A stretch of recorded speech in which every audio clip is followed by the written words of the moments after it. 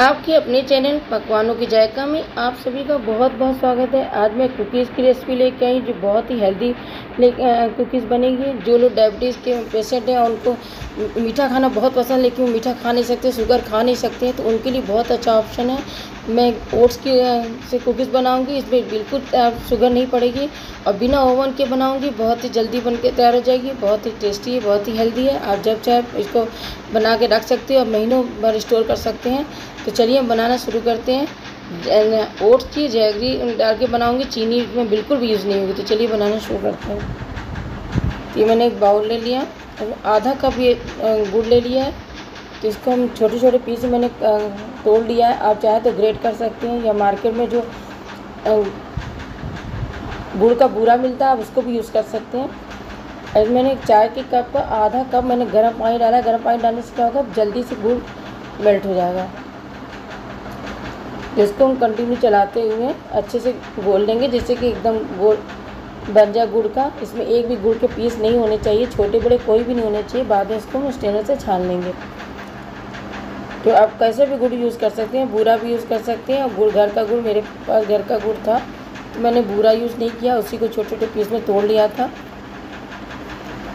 आपको जैसे आसान हो, वो आप करिए। ये बहुत ही हेल्दी कुकीज़ बन के रेडी होंगे, और महीनों तक आप स्टोर करें बहुत ज़्यादा मेहनत भी नहीं लगेगी आप बिना ओवन के आराम से बना सकते हैं, और महीनों तक आप इसको स्टोर कर सकते हैं।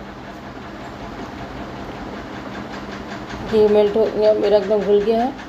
अब इसको छान के अलग रख लेंगे। अब जिसमें हमको बनाना उसमें उसमें हम ऑयल लगा लेंगे। घी या ऑयल जो भी आपको पसंद हो, वो आप लगा सकते हैं।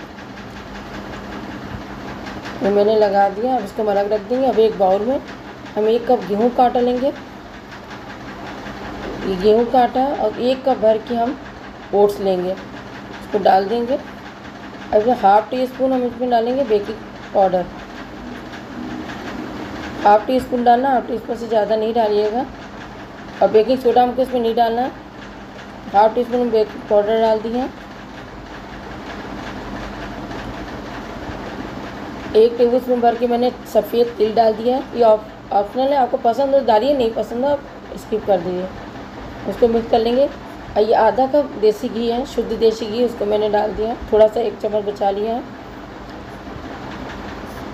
कभी और यूज़ होगा तो मैं डाल दूँगी, अगर ज़रूरत होगा तो। उसको मिला लेंगे मिक्स करेंगे अच्छे से कि घी बेकिंग पाउडर सब कुछ अच्छे से ओट्स आटा सब अच्छे से मिक्स हो जाए। तो चम्मच हम हटा देंगे, हम हाथों से मिक्स करेंगे। चम्मच से उतना अच्छा मिक्स नहीं होगा। हाथों से जितना अच्छा मिक्स होगा उससे चम्मच से नहीं होगा। मुझे घी अच्छे से मिक्स करना है कि ओट्स आटा सब मिक्स मिक्स हो जाए तो हाथों से खूब अच्छे से मिक्स कर लेंगे।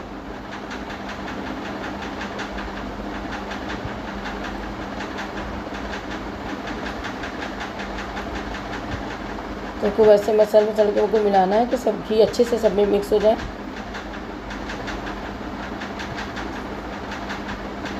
ये सब मिक्स हो गए हैं। मैंने जो गुड़ का देखिए छान के रख लिया था, उसको हम डालेंगे।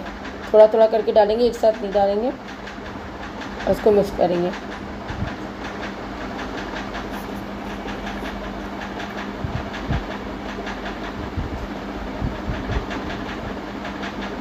तो यदि आप लोग ने अभी तक मेरे चैनल को सब्सक्राइब नहीं किया है तो प्लीज़ सब्सक्राइब कर दीजिए, लाइक कर दीजिए। वीडियो अच्छी लगे, रेसिपी अच्छी लगेगी, ज़्यादा ज़्यादा इसको शेयर करिएगा। थोड़ा सा गुड़ देखिए, मेरा जो बचा था, मैंने वो भी डाल दिया है। अभी हमको एकदम ना पानी, यानी पानी कुछ भी डालने की ज़रूरत नहीं, मुझे डालना भी नहीं है, उसी गुड़ के घोल से ही आराम से देखिए बन जाएगा। दो बन के तैयार हो जाएगा। अब मुझे इसको गूँथना नहीं है, बस सब एक साथ मिक्स करना है बस।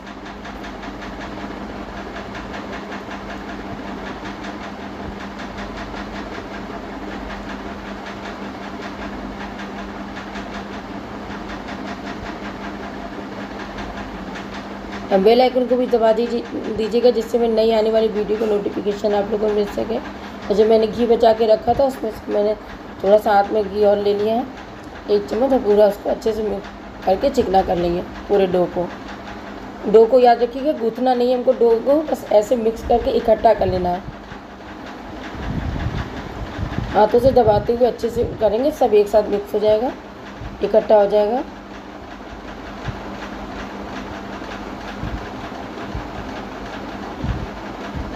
देखिए हो गया, अब हाथ में थोड़ा सा घी लगाएँगे।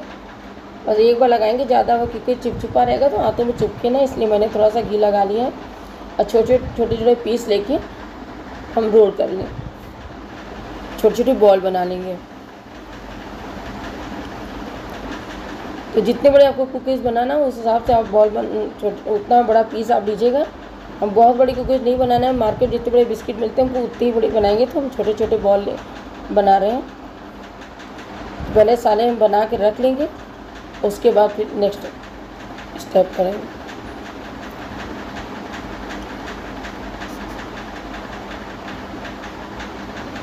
अगर आपको एक बराबर से नहीं हो रहा तो किसी स्पून से किसी भी चीज़ से आप नाप ले लीजिए, उसी बराबर लीजिए, फिर आप गोल करते जाइए। पहले मैं उतनी बनाऊँगी, जितना हम एक बार में बेक करेंगे, उतना ही हम उसको, उतने बॉल्स बना लेंगे।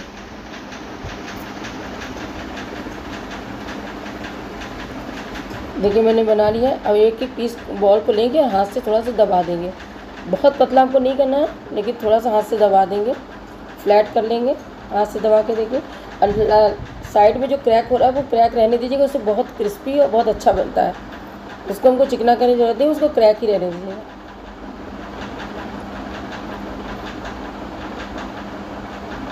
बस ऐसे हल्का हल्का फ्लैट कर लेंगे सर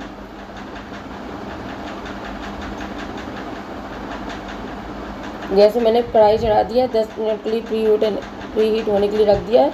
नमक डाल दिया है उसमें और बंद कर बंद करके उसको गर्म होने के लिए रख दिया है।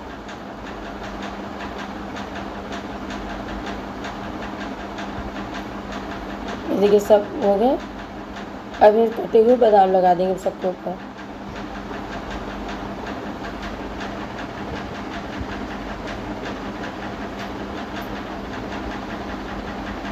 इसमें पिस्ता भी लगा सकते हैं, काजू लगा लीजिए, पीनट लगा लीजिए, जो भी चीज़ आपको पसंद हो। ये ज़रूरी नहीं कि आप बादाम ही लगाइए। जो आपको पसंद हो, वो आप इसमें लगाइए। चाहिए तो आप चॉकलेट में, चौको, चॉकलेट के पीस जो आते हैं, वो लगा लीजिए। चौको चिप्स लगा लीजिए। जो भी हो। लेकिन गर्म दस मिनट मैंने प्री हीट कर लिया अब इसको हम रख। के बीस बीस, पच्चीस मिनट तक हम इसको बेक करेंगे। गैस की फ्लेम लो कर देंगे। लो मीडियम रखेंगे, हाई नहीं रखेंगे। ये मेरा बीस मिनट हो गया है। और देखिए, अच्छे से कुकीज़ बन के तैयार हो गए हैं। अब इससे ज़्यादा करेंगे तो जल जाएँगे। अब क्योंकि ये अगर वाइट होते, मैदे के बनते हैं शुगर पड़ी होती है तो ये आपको ब्राउन दिखाई देते हैं। क्योंकि ये आटे के तो ज़्यादा लाल दिखाई दे रहे हैं।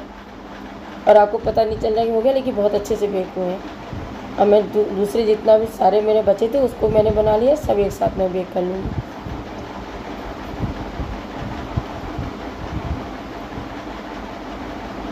ये बहुत जल्दी कोई ज़्यादा मेहनत नहीं इसमें लगी है कोई सामान भी ज़्यादा नहीं, मैंने यूज़ किया। है घर के सामान से इतना इतने हेल्दी अगर कुकीज़ बन के तैयार हो जाए तो कोई मार्केट से लाने की क्या ज़रूरत है? अब इसको हम इस पच्चीस मिनट कर लेंगे।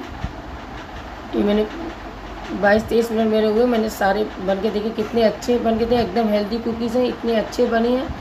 एकदम शुगर मैंने इसमें यूज़ नहीं किया है। आप इसको आराम से खा सकते हैं। ज़रा भी ये नहीं है कि नुकसान कर रही तोड़ के मैंने दिखा दिया कितने अंदर तक पूरे सीख गए एकदम क्रिस्पी बन के खस्ता कुकीज़ बन के तैयार हुए तो ज़रूर इसको बनाइएगा, बना के खाइएगा कमेंट द्वारा में बताइएगा कि ये आटे के ओट्स के कुकीज़ आपको जैगरी ओट्स कुकीज़ आपको कैसे लगे। ज़रूर बनाइएगा। सबको करे, सब आपकी बहुत तारीफ़ करेंगे। तो बनाइए चैनल को सब्सक्राइब कर दीजिए लाइक कर दीजिए, ज़्यादा से ज़्यादा शेयर करिएगा। बेल आइकन को ज़रूर दबा दीजिएगा। इससे मेरी नई आने वाली वीडियो का नोटिफिकेशन मिल सके आप लोगों को। कमेंट द्वारा मैं ज़रूर बताइएगा कि ओट जैगरी कुकीज़ आप लोगों को कैसे लगे। बहुत ही टेस्टी बनती हैं। Thank you